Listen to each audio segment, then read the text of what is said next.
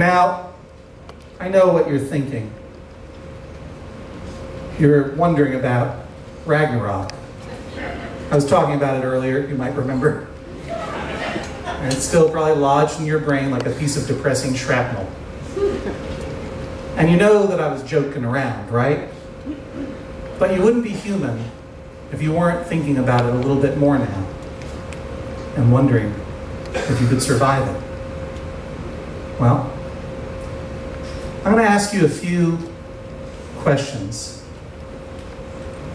And I want you, when answering them, to try to be honest for once in your shithole life. now, when I ask the question, if the answer is yes, raise your hand. If it is not yes, do not raise your hand. It's a system that I just made up. How many of you live in a house that is at least 1,000 feet above sea level? Hmm. not many. Samuel, you do not live in a house that is a thousand feet above sea level. He lives on a hill. you may put down your hand. How many of you live on a luxury cruise ship? or some other boat-like conveyance or houseboat that can cruise for an indefinite period of time atop a giant tsunami of blood.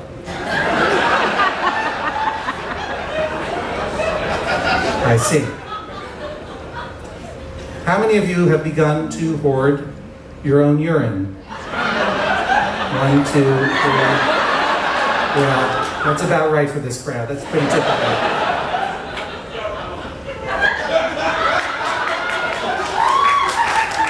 Does it have to be your own? Was that the question?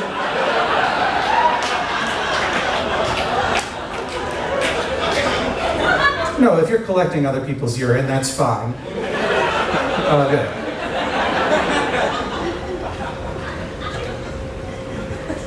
Do you have a pit in your basement?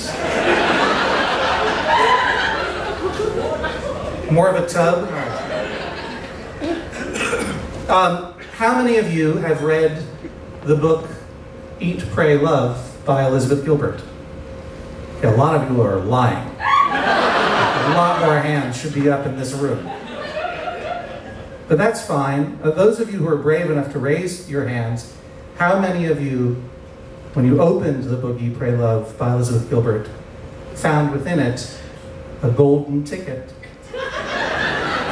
entitling you to a seat on the giant space ark that Oprah Winfrey is building in secret right now.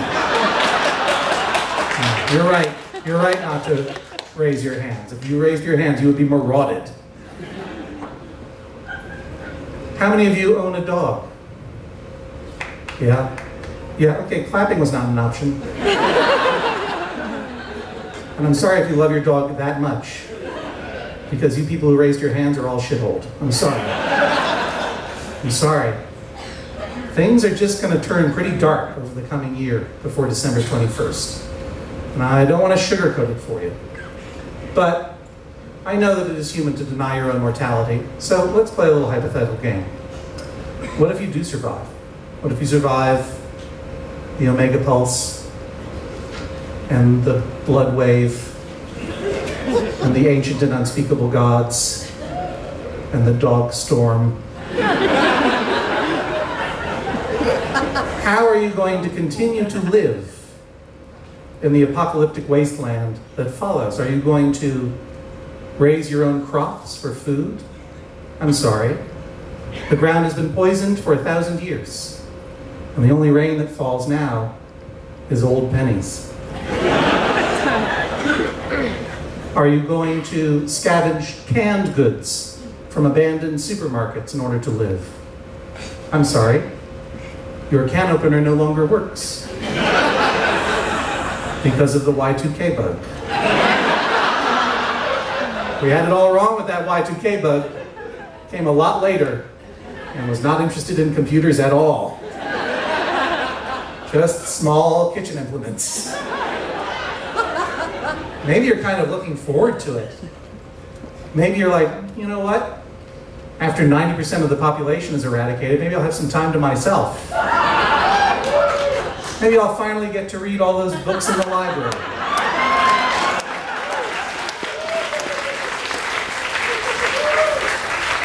I'm sorry. You just stepped on your own glasses.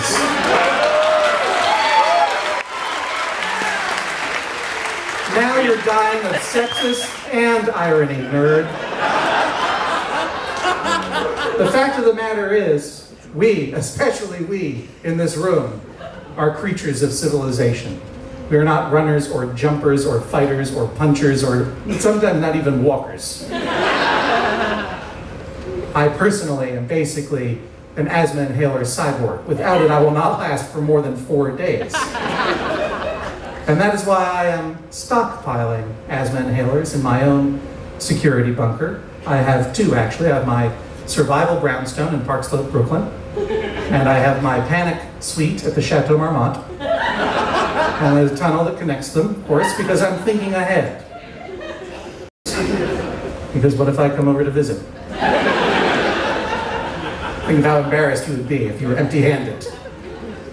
What else should you stockpile? Let's see. Water, obviously. 500 gallons at a minimum of purified water, plus 1,000 effervescent caffeine tablets, plus 500 kilograms of raw taurine, so that you can make your own energy drinks.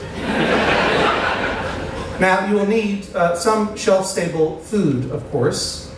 Uh, I recommend uh, in honor of my friend Paul F. Tompkins, uh, pie filling in cans.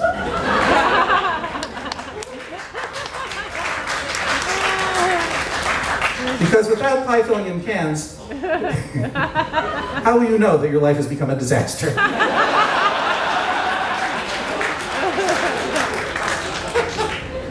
May I say it, Paul? Yes, you may go.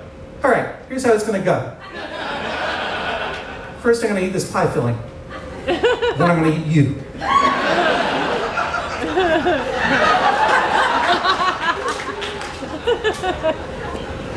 Eating other people suggests the next thing you need to stockpile other people. Start stockpiling your friends now.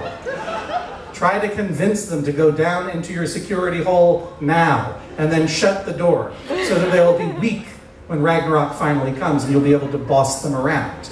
And then you can have fun with them, and you'll have companionship, and you'll have someone to pass the time with and play Scrabble with, not bananagrams. That is an abomination. There will be law and order in this new world. There will be rules and a board. Do you understand? You also need companions so that you may repopulate the species later through joyless copulation. I stress joyless. Do not stockpile your lovers. This never works out.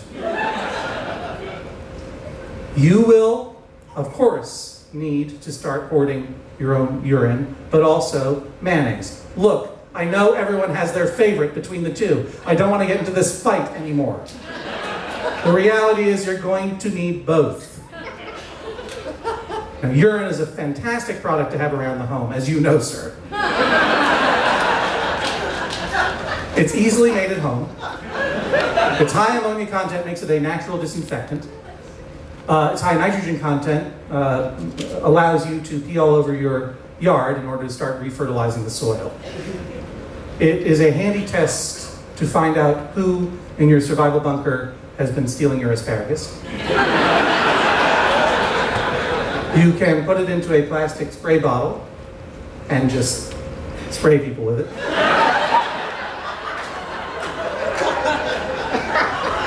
Thousands of uses.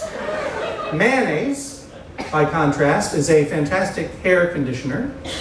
It is also a great uh, topical anesthetic.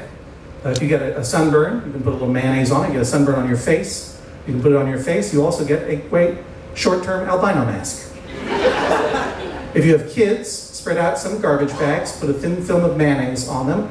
You get a slip and slide. Don't throw it away after. Leave it out in the sun for a few days. You have a handy poison. I'm going to save that mayonnaise for your salmonella garden. I also learned while researching mayonnaise, and this is absolutely true about mayonnaise, and my favorite fact about mayonnaise ever, mayonnaise is great for getting out urine stains, which you are going to have in your home urine workshop. So, to my mind, advantage mayonnaise. But as I say, you need both. Now, it's amazing to me that people do not make even these most basic preparations for Ragnarok. And the reason isn't that they're afraid, it's that they're embarrassed. People don't want to drink their own urine when they're not even in college. People are afraid that walking around with mayonnaise in their hair is going to make them look crazy. But this is ridiculous. You should not be ashamed. It is not so much that we are afraid of the end, but we are embarrassed after we have made so much and destroyed so much and created so much and loved so much that we don't go on forever. And it's sort of embarrassing to admit. But don't be ashamed. Death is a very common problem. the end of the world happens to all of us once in a while. So to get you started, I brought along a starter pack.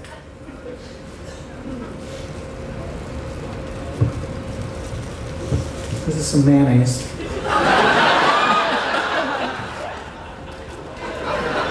now this is really just to get you going. Don't think that this is all you need. Am I getting into the balcony yet?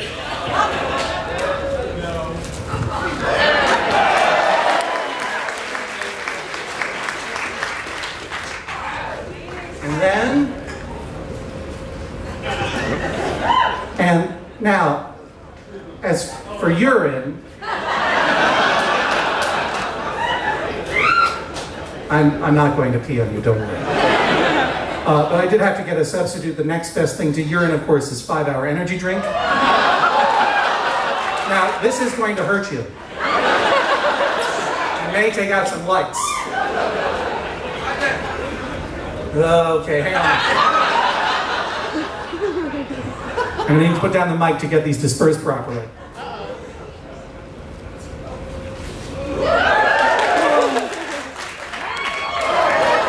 I don't need the lights. Come on, I'm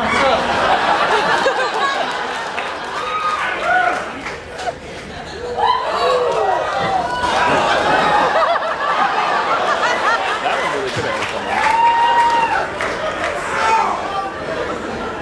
someone. This is a ukulele.